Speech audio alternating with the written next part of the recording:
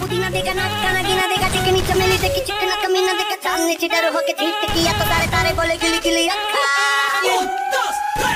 ये अभी ट्रेलर है। पिक्चर अभी बाकी है, मैं बोला है ना। पिक्चर अभी बाकी है।